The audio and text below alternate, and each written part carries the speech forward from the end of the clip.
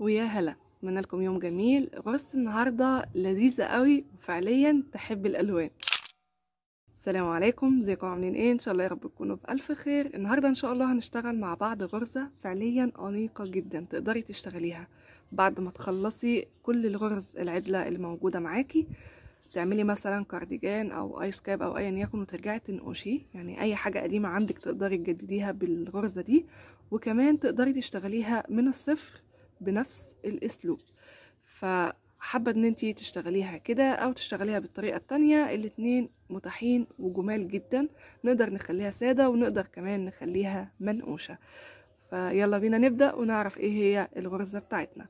السلام عليكم إزيكم عاملين إيه؟ إن شاء الله يا رب تكونوا بألف خير. النهاردة إن شاء الله هنشتغل مع بعض غرزة ال feather stitch غرزة الريش أتمنى اكون بنطق الاسم ال English صح.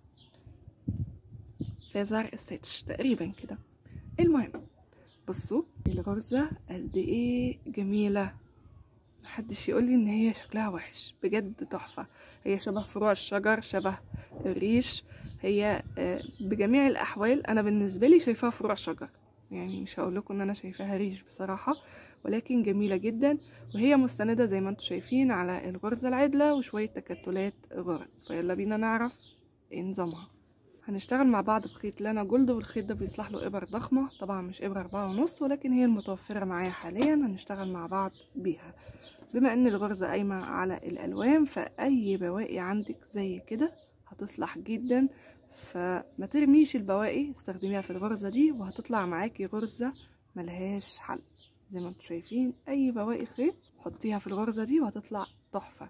بجد يعني انت مش محتاجة آه كمية بكر كتير قوي أو مش عارف إيه لأ عادي ممكن تعملي أي بواقي عندك ولون أساسي تشتريه وخلاص على كده. عدد 15 سلسلة وهبتدي معاكم الغرزة من ظهر السلاسل أفضل دايما من الوش. زي ما أنتم شايفين الظهر أهو ده وش السلسلة. باخد واخلي معايا على الإبرة.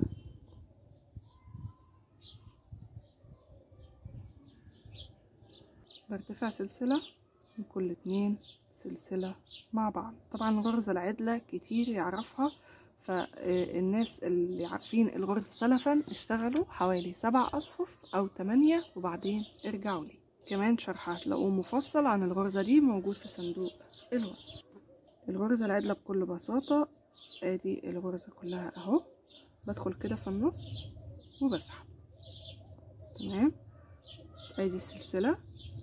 أدخل في نص السلسلة. زي ما إحنا متعودين آخر الصف باخد الاتنين سلسلة مع بعض. ارتفع سلسلة وكل اتنين مع بعض. تقدري تشتغلي صف غرزة حشو قبل ما تبدأي الغرزة دي. صف غرزة مقلوبة غرزة بسيطة. كل ده يفرد لك الغرزة دي قبل ما نبدأ الغرزة نفسها لأن هي من الغرز السميكة واللي بترول وفيها تفاصيل كتيرة ولكنها من أكتر الغرز البيزك والأساسية في الكروشيه التونسي.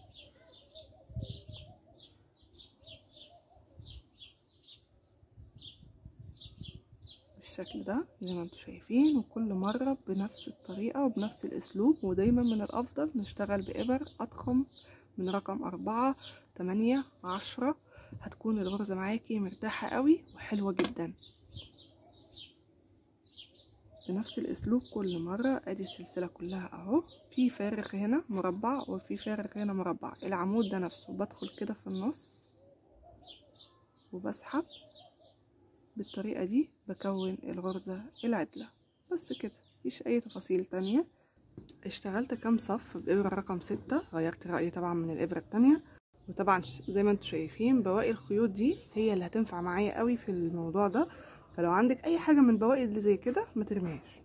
هشتغل تلاتة أربع غرز خمسة والسادسة هبتدي فيها بلون مختلف. أروح كده أنزل واحد اتنين تلاتة أربعة خمسة ستة. تمام؟ وأدخل في قلب الغرزة كده وأسحب وأخلي معايا على الإبرة.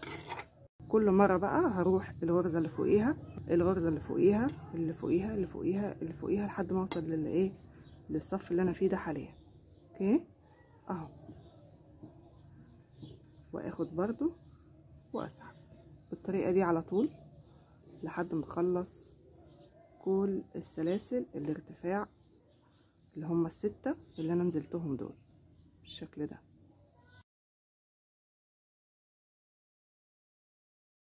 شايفين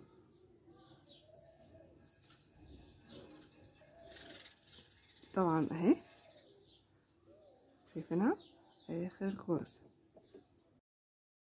بعدين بعمل إيه؟ يا إما أعمل بإيديا يا إما أعمل بإبرة تريكو. أنا هوريكم اللي هي بإيدي وهوريكم اللي هي بإبرة تريكو وأنتوا إيه؟ شوفوا المناسب ليكم. بصوا كده واطلع بالشكل ده. طيب ما ينفعش أبدأ من الأول؟ لأ لأن هو الطريقة دي هي اللي بتكونلك أصلا شكل الريشة أو ال leaves الأوراق اللي إحنا بنتكلم عليها. أهو. فكل واحدة كده بالتناوب عن الإيه؟ اللي بعدها. أهو. شفتوا؟ بس كده. يعني مفيش أي حاجة تاني. ولو حابين يا إما تنضفوا أول بأول يا إما تمسكوا كده تروحوا رابطينها على أساس إن هي ما تطلعش منكم أثناء ما أنتم شغالين وبعد كده تبقوا تنضفوها براحتكم. وبنعمل إيه؟ أيوه نرجع نستكمل الغرزة بتاعتنا. كده خلاص كل الغرز دي متاخدة.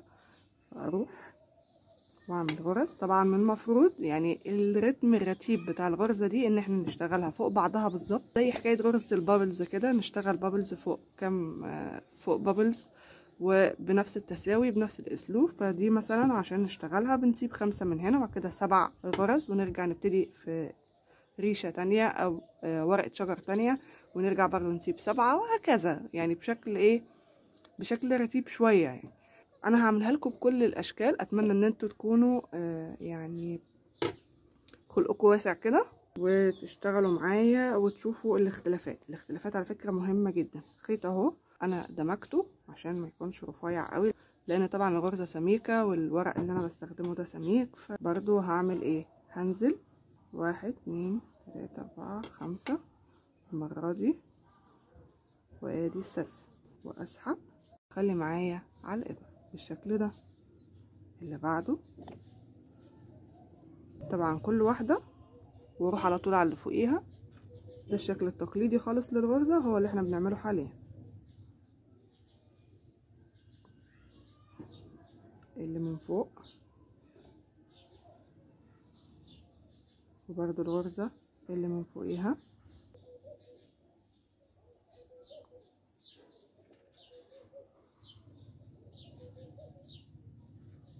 وآخر واحدة.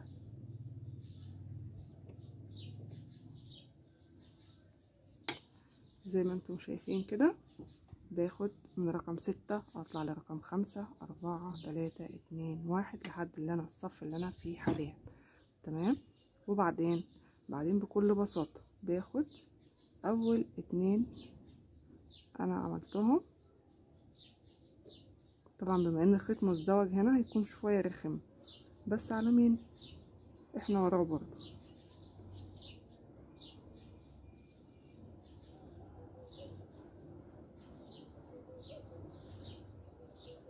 بالشكل ده.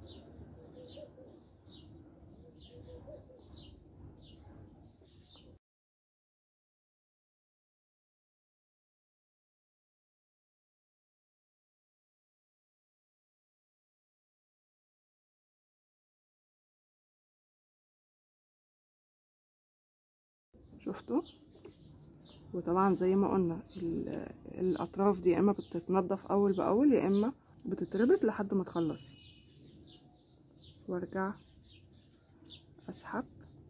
الأطراف الجانبية دايما خديها كده من الأفضل وهتخلي شكل شغلك نظيف جدا. بعدين بنسحب كل اتنين مع بعض. طيب إحنا عارفين في التبستري إن إحنا ما ينفعش نسحب لون اللون مثلا اللي جاي ده أصفر فلازم أسحبه باللون الأصفر اللون اللي جاي أبيض فلازم أسحبه بالأبيض وهكذا. في الغرزه دي في استثناء شوية لأن الليفز ديت أو الريش ده داخل دخيل. يعني هو بس مجرد مظهر كده خارجي. فمش هيأثر خالص إن أنا أسحب نفس لون الغرزة الأصلية أو الأساسي. لأن هوريكم في نهاية الفيديو طريقة بتخليكي تعملي الغرزة العدلة لوحدها كده وبعد كده تدخلي عليها ورق الشجر ده كده بدون ما يكون غرزة في حد ذاته. زي ما قلت لكم في طريقة رتيبة للغرزة دي وهي اللي إحنا اشتغلناها حاليا. إيه بقى اللي بيخليها رتيبة؟ إنه أنا أعمل كمان سبع اصفف أو خمس اصفف وأبتدي أعمل نفس ورق الشجر بنفس المسافات فوقيها على طول. بعد سبع اصفف بالطريقة دي لحد ما بخلص الغرزة. يعني هي كده غرزتكم خلصت وتقدروا تقفلوا الفيديو. ولكن أنا حابة أعمل معاكم الغرزة دي بأشكال مختلفة بحيث إن إحنا ندخلها في وش بلوفر ندخلها في ice cap. حتى لو حابين ان إنتوا تدخلوها في كوفية هتقدروا. فيلا بينا نعرف هنعمل إيه. اشتغل معاكم خمس اصفف ولكن مش هنشتغل ال leaves دي بالطريقة الرتيبة ديت فيلا بينا. بصوا بقى في تريكايه حلوة كده زي ما أنتوا شايفين. أنا دلوقتي أما دخلت هنا بصوا الغرزة مفتوحة إزاي. ده مش مميز ليا. فأنا هعمل حيلة. بصوا هدخل كده وآخد الغرزة بتاعتي. فكده بصوا اتقفلت وبقت غرزة عادية زيها زي دول. لكن لو سبتها بالطريقة دي هتكون مفتوحة شوية معايا وده مش مميز. هتلاقوا الغرزة آه طول الوقت كده فيها خروم. بعد ما نخلص فطبعا مش هيكون أحلى حاجة أو اميز حاجة. برضو نفس النظام. أهو شايفين؟ يعني أنا ممكن أدخل كده عادي في الغرزة. أهو. بس في احتمال كبير إن هي تفتح الغرزه زي ما أنتم شايفين. فانا هعمل كده. هدخل كده من ورا كده فتبقى مقفولة كده زي ما أنتم شايفين. اشتغلت كذا صف وتعالوا دلوقتي نعمل أوراق شجر في كل مرحلة مش كام صف ونشتغل. أوراق شجر أو ريش ونرجع بعد كده نوقف ونرجع نشتغل تاني وهكذا. لا هنشتغل طول الوقت بقى خلاص. ودي الطريقة اللي هي حلوة اللي هي فيها حركة كده وشكل للقماشة. هنزل اتنين أربعة ستة وعند رقم سبعة. هل معنى ذلك إنه لازم؟ لا مش لازم. انت اعملي ورقة الشجر بالارتفاع اللي انت عايزاه. كل ما تنزلي لتحت أكتر أو تطلعي لفوق أكتر ورقة الشجر بتاعتك هتكون آه يعني طولها تمام؟ وحجمها على حسب آه الخيط اللي انت بتستخدميه وعلى حسب انت بتنزلي قد إيه غرز لتحت. تمام؟ طبعا في طريقة بابره التريكو بتتعمل وبتكون بسيطة جدا وسهلة ولو ما عندكيش استخدمي إيديكي. ولو ما عندكيش لا دي ولا دي استخدمي إبرة الكروشيه العادية. تعالوا نعملها معاكم بإبرة الكروشيه العادية ولو إنها شوية هتكون مزعجة.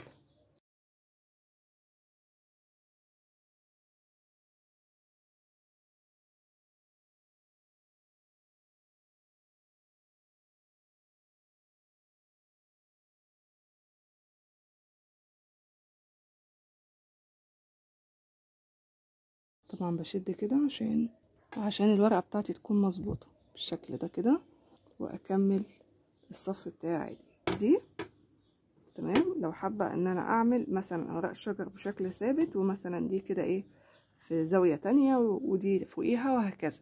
ولكن ممكن كمان نعمل الريشة دي أو ورقة الشجر دي بميل. إزاي؟ يلا بينا نشوف. هجيب اللون اللافندر ده المرة دي وهنشتغل مع بعض. بصوا بقى يا ستي ممكن تعملي الميل بتاع ورقة الشجر لهنا أو تعمليه من هنا انتي وطريقتك. وممكن تعمليه على حسب المسافة يعني أنا المسافة المرة دي بتقول إن أنا المفروض أعمل ورقة الشجر بتاعتي من هنا. فهروح كده أدي واحد اتنين تلاتة تمام؟ هروح كده أشتغل من هنا اتنين وبعد كده فوقيهم اتنين وفوقيهم اتنين لحد ما أوصل للحتة دي أوكي؟ بس هنزل الأول. واحد اتنين تلاتة أربعة خمسة ستة. تمام؟ هروح هنا كده واشتغل أول اتنين. يعتبر قبلها بصفين. بعدين. الاتنين بس منين؟ من هنا من اللي قبلها. شايفين؟ أدي العمود أهو. أدي العمود اللي قبليه. أخد منه اتنين. من على الارتفاع العادي بتاعي. أهو. واحد اتنين. وبعدين بصوا آخر اتنين في العمود التالت اللي هم هنا. ماشي؟ آدي برضو. واحد. وآدي آخر غرزة. دي بقى هتكون شوية سئيلة بس برضو هناخدها. كده خدنا كل الأوراق. بعدين نبتدي نعكس. أهو ننزل بقى الورق ده كله كده ونريحه. أنا معتبرها فروع شجر. هي على فكرة اسمها غرزة الريش. بعدين بشتغل باقي الصف بتاعي عادي. زي ما أنتم شايفين هنا بقى اهو. نركز عشان لما بتكون بميل ممكن ننسى غرزة وإحنا شغالين. ملاحظين حاجة؟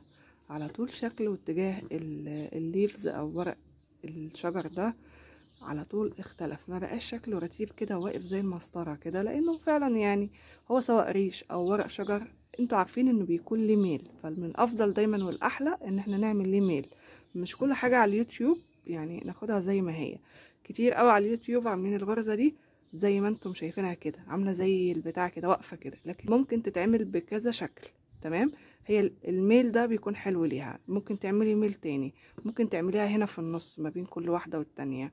يعني ممكن تعملي أشكال كتيرة ممكن تعمليها تبع الباترون لو انتي ليكي كيف. يعني دايما أكون بعيدة عن الحافة. ليه بقى؟ على أساس إنه الحافة دايما عمر ما هيظهر عليها ورقة شجر من هنا من الأطراف. يعني ممكن تكون مثلا لو كوفية برضه هتبعدي عن الأول طرف ده وتروحي في الطرف التاني ولكن مش على الحافة بالسنتي. لو انتي مدخلة الغرزة دي كدخيل يعني ال... الريش ده أو فروع الشجر دي مدخلاها مثلا في بلوفر انتي حابة تجدديه ودي هوريها لك في نهاية الفيديو إن شاء الله. ساعتها عادي يعني إن انتي تحطيها من عند القفل بتاع الخياطة. لكن برضو هي منطقيا هتكون بعيدة لأن قفل الخياطة برضو خد أول غرزة منك أثناء تصنيع البلوفر نفسه. هاخد معاكم اللون الأصفر وهشتغل leaves تانية. وزي ما قلنا الميل ده ينفع يكون بالطريقة دي وينفع يكون عكس كده. فتعالوا نعمله عكس. هرجع دلوقتي. طبعا دي أهي آخر اتنين. ودي الاتنين اللي تحتها. ودي اتنين من تحت اهم هشتغلهم الأول. أسحب وأخلي معايا على الإبرة. بس أنا منزلتش قوي. لا أنا عايزة أنزل أكتر. ليه بقى؟ عشان الورقة لما يكون ليها ميل تكون باينة قوي. فأنا هعمل كده. هعد. هنزل أنا هنا تحت. تمام؟ عند الغرزة السبعة مثلا. وطبعا مش حتما يعني ممكن تنزلي أكتر كمان من كده فعادي. أخد واحد. اتنين. أوكي. خدت كده من دولة اتنين. أطلع بقى على الاتنين اللي فوقيهم. تمام؟ اللي هم دول. وأخدهم هم كمان. بس لازم أتأكد دايما وأنا شغالة بحيث إنه إيه ما يحصلش معايا أي دروب ولازم بصوا عشان تكونوا فاهمين. يعني دي غرزة ودي جنبها. ما أشتغل في اللي جنبها. لا اللي فوقيها على طول عشان تبقى في ميل وقت نفسه في تناسق من الغرزة نفسها إن هي تبان كده وتبرز.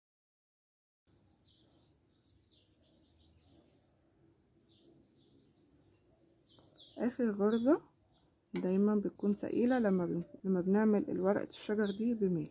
تمام؟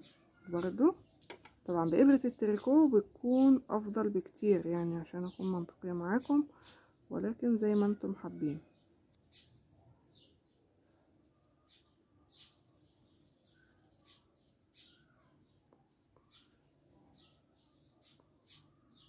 وبعدين أستكمل باقي الغرز. أهو وزي ما إحنا عارفين لو الغرزة هتميل معايا وتتفتح فيفضل إن أنا ما أعملهاش بالطريقة دي ولكن أتحايل أخدها بالطريقة دي كده وأدخل تاني وأعمل غرزه عدله هتظبط معايا أكتر وهتكون شكلها أحلى. شايفين الفرق دلوقتي ما بين التحت واللي هما فوق؟ واحدة بميل يمين واحدة بميل شمال واحدة زي ما هي واقفة كده زي ما إحنا عايزين. طيب أنا وصلت لمرحلة إن هنا مثلا مفيش أي أماكن تانية فارغة لا من هنا كمدى من تحت ولا من الجوانب. فهعمل إيه؟ هروح برضو أشتغل تلات أربع أصفف كمان وابتدي بعدين أعمل ليفز أو ريش من جديد. تمام؟ تيجوا نجرب؟ يلا بينا. لما أحب أقفل الغرزة بشتغل بطريقة الغرزة وأعمل منزلقة. انتي مش قلتي هتعلمينا حاجة تاني؟ آه.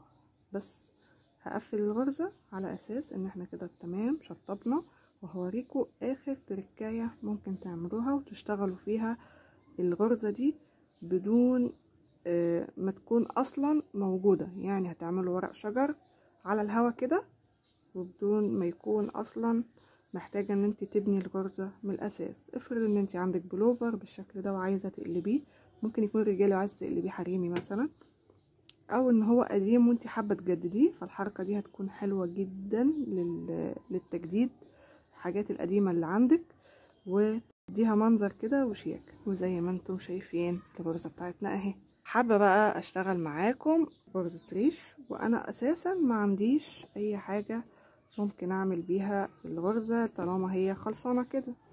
لا. عادي ينفع. ولكن استخدمي طبعا إبرة غير ابر التونسي لأن ابر التونسي شوية بتكون ضخمة. وزي ما وريتكم في الغرزة الأساسية. آدي أنا عايزة أعملها بميل المرة دي فهروح أهو آخد اتنين من هنا. تمام؟ وبعد كده اتنين من هنا. بالتناوب أهو.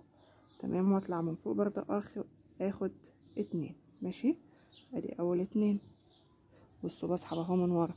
طبعا بسحب للارتفاع اللي أنا عاوزاه. يعني مثلا لهنا أوكي؟ أو لاقل على حسب. وبعدين اللي فوقيها برضو واحدة. وبعدين أيوه واحد اتنين. أهو. واحد اتنين. وبعدين برضو واحد اتنين. بيكون بالمنظر ده كده على الإبرة. وبعدين أعمل زي ما كنت بعمل هنا. نعيد تاني. بص يا جميلة.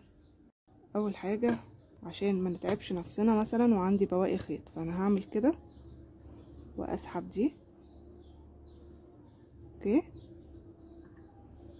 أهو. وعلى طول أعمل الحركة دي. فهتربط لي الغرزة بتاعتي. خلاص كده مش هتمشي في حتة. وبعدين أتصرف بقى بحريتي. أهو. ادي غرزتين اهو ادي واحد اتنين. لازم بقى اطلع لحد الارتفاع اللي أنا عايزاه. أوكي؟ بالشكل ده. بس أنا كده يعني إيه قللت شوية في الارتفاع فلا اطول. اهو بعدين واحد اتنين. شوفوا الاتنين اللي تحت اهو في نفس المستوى. لا الاتنين بقى اللي فوقيهم. طبعا من الصف اللي بعده. تمام؟ ادي اهو الصف اللي بعده ونفس المستوى. بصوا اللي قبليه واطلع واحد اتنين. واحد اتنين. تمام؟ فهمنا كده؟ اديهم كلهم اهو. بعدين بطلع كده من اول واحدة واللي قبليها واللي قبل قبلها. بالطريقة دي لحد ما أروح فين؟ عند اول غرزة اشتغلتها. بالشكل ده. تمام؟ طيب ما هو أصلا الخيط نافد من ورا فأنا بعمل إيه؟ بعمل الحركة دي. تمام؟ وأروح فين بقى؟ أيوه أهو.